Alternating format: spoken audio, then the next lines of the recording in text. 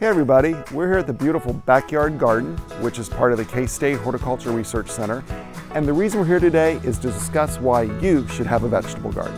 First, I think the most obvious is when you grow your own fruits and vegetables, you know the source, you know where they came from, you know what's been put on them, and you also can grow the things your family likes.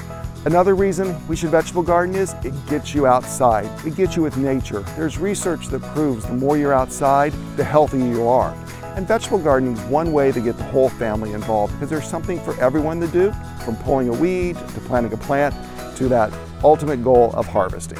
Anyone can grow vegetables. You don't have to be an expert. You don't have to have the so-called green thumb. If we all start small, start with the basics, and build, we can all become successful at growing vegetables, whether it's in your backyard, whether it's in a community garden, whether it's in a container or raised bed.